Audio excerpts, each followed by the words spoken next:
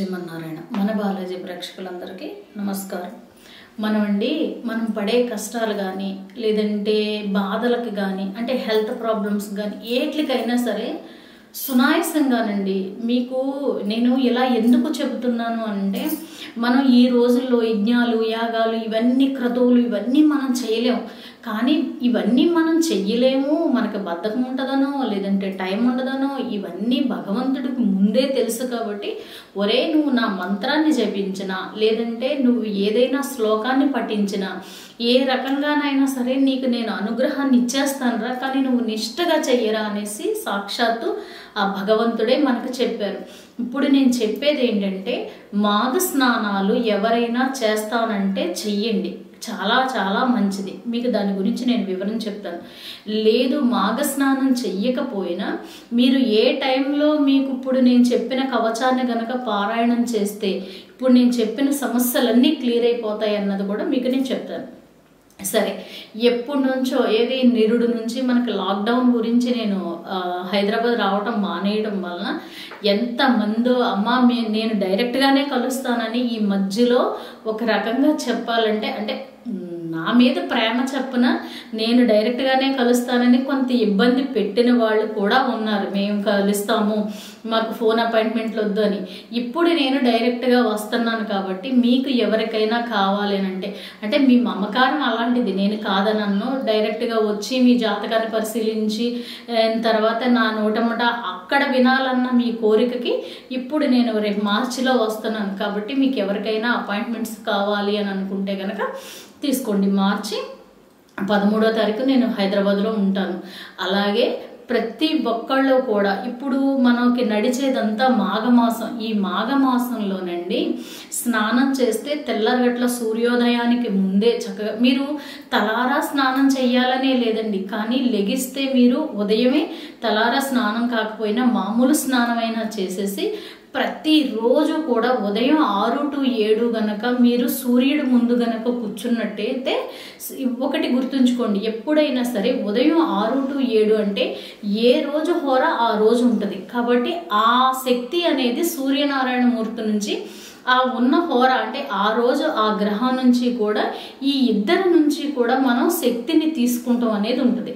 ఆ టైంలో మీరు ఆ ఎదురుగా ఏమన్నా పని చేసినా లేదంటే నడక అంటే వాకింగ్ చేసినా లేదంటే అక్కడ కూర్చుని మీరు ఆదిత్య హృదయం పారాయణం చేసుకున్నా లేదంటే కనుక సూర్యుడికి సంబంధించి ఏం చేసుకున్నా కూడా ఆ తండ్రి కిరణాలు ఎక్కువ శాతం మన బాడీని తాకి మనలో ఉన్న కర్మఫలాన్ని అలాగే మనం ఈ మంత్రం చదవటం వలన ఆ స్వామి అనుగ్రహాన్ని తొందరగా మనం పొందగలుగుతాం.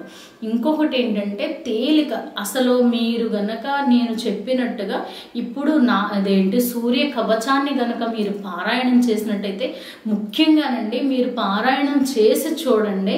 పోనీ నాన్ వెజ్ తింటాం మేము మానమమ్మా మేము స్నానాలు చేయలేమమ్మా అంటే పోనీ మానేయండి. మానేసి కేవలం ఆదివారాలు చేస్తానంటే ఆదివారాలు చేసి ప్రతిరోజు కూడా ఉదయం ఆరు టు ఏడు సూర్య కవచాన్ని చదవండి. నిజంగా నేను అంటున్నానని కాదు ఎంతో ఎంతో ఎంతో అదృష్టాన్ని మనం పొందగలుగుతామండి. ఎందుకంటే వచ్చే మా మాఘమాసానికల్లా మనం వెనక తిరిగి చూసుకుంటే ఏంటి ఇంత మార్పా నా జీవితంలో అని అనిపిస్తుంది. సాక్షాత్తు సూర్యనారాయణమూర్తే మనకి కవచం కింద ఏర్పడిపోతారు. ఆ కవచం ఎంత సింపుల్ మీకు. ఎక్కువ శాతం ఎక్కువసేపు కూడా పట్టదు. కానీ ఎవరైతే ప్రతిరోజు కూడా ఈ మాఘమాసంలో ఉదయం ఆరు టు ఏడు టైంలో గనక సూర్య కవచాన్ని గనక చదువుతారో బాధలు ఉండవు తర్వాత హెల్త్ ప్రాబ్లమ్స్ ఉండవు మనీ ప్రాబ్లమ్స్ ఉండవు.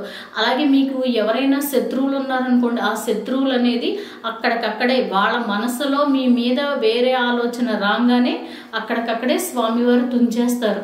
తర్వాత మీకు కీర్తి ప్రతిష్టలు మీరు చేసే జాబులో మీకు పేరు ప్రతిష్టలు వస్తాయి. అలాగే మీరు ఏదైనా ఇల్లు కొనుక్కోవాలనుకున్నా ఏదైనా కారు కొనుక్కో ఇలాంటి కోరికలు కూడా మీకు తీరుతాయి. ఇలాగ ప్రతీది కూడా మీకు సూర్య కవచాన్ని గనక పారాయణం మాఘమాసంలో ప్రతిరోజు చేసినట్టయితే విశేషమైన ఎనర్జీని తీసుకుంటారు.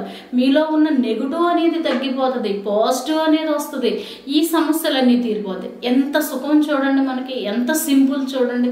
కాబట్టి ఇంకొకటి ఏంటంటే ఇప్పుడు నేను ఇలా చెబుతున్నాను కదా కొంతమందికి ఇలా చెప్పడం నచ్చట్లేనట్టుంది. అంటే పారాయణాల గురించి వీటి గురించి చెప్పకూడదు కొంతమందికి. ఏమని చెప్పాలంటే అంతకు ముందు నేను చెప్పాను చూడండి అక్కడ ఒక చెంబు పెట్టండి లేకపోతే ఈశాన్యంలో ఇలా పెట్టండి గుమ్మాలో ఇలా పెట్టండి. ఇలాగ చేసేసి వదిలేస్తే వాళ్ళకి మంచిది అనుకుంటా అంతేగాని విష్ణు సహస్రనామం చదవండి లేదంటే మహాలక్ష్మి అష్టకాన్ని చదవండి. ఇలాగని చెప్పామనుకోండి కొంతమంది ఆడవాళ్ళకి ఎక్కట్లేదో మరి మగవాళ్ళకి ఎక్కట్లేదో నాకు అర్థం కావట్లేదు. కానీ నేను నిజంగా స్వామి అనుగ్రహంతో నేను చెప్తున్నాను మహాలక్ష్మి అష్టకాన్ని గోదాదేవిని తర్వాత వినాయకుణ్ణి అలాగే విష్ణు సహస్రనామం ఇలా పారాయణం చేయమని చెప్పిన వాళ్ళని చేసిన వాళ్ళు అమ్మా మేము చాలా చాలా చాలా బాగున్నాం అమ్మా అన్న వాళ్ళు చాలా మంది ఉన్నారు. నాకు అది ఆ బూస్ట్ చాలు. వీళ్ళు ఒక రకంగా విమర్శించినా నాకేం పర్వాలేదు. ఎందుకని అంటే చదవమంటే వాళ్ళకి బద్ధకం. బద్ధకం అంటే మనకి ఎలా వస్తుంది? భగవంతుడిని మనం స్మరిస్తున్నప్పుడే కదా ఆయనలో ఉన్న ఆ ఆకారాన్ని మనం గుర్తు తెచ్చుకుంటాము. ఇలాగనమాట. ఇప్పుడు చూడండి మాఘమాసం వచ్చింది.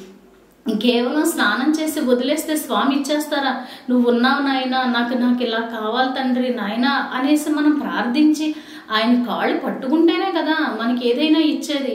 అంటే మనం ఏదైనా మనం చేసుకున్న దాన్ని బట్టే మనకు వస్తుంది. ఎప్పుడైతే ఆ మంత్రాన్ని వాటిని ఉచ్చరిస్తామో ఎంతో ఎంతో అదృష్టాన్ని పొందుతాం. ఇంకొకటి సాక్షాత్తు శ్రీరామచంద్రుడే ఆదిత్య హృదయాన్ని పారాయణం చేసి రావణాసురుడి మీద నెగ్గాడు. మహానుభావుడు ఆయన ఎక్కడ మనం ఎక్కడ? చూసారా? అందు గురించి నారాయణ క మనకి సూర్య కవచం ఎంత ఎంత గొప్పదో అలాగే ఆదిత్య హృదయం కూడా గొప్పది. ప్రతిరోజు మీకు ఓపిక ఉన్న వాళ్ళు ఆదిత్య హృదయాన్ని కూడా పారాయణం చేయండి. అసలు ఆదిత్య హృదయం గనక పారాయణం చేసిన సూర్య కవచం పారాయణం చేసిన సూర్య అష్టకాన్ని పారాయణం చేసిన నిజంగానండి మనకి వచ్చే సంపదలే కాదు వచ్చే అదృష్టమే కాదు అసలు మామూలుగా ఉండదు.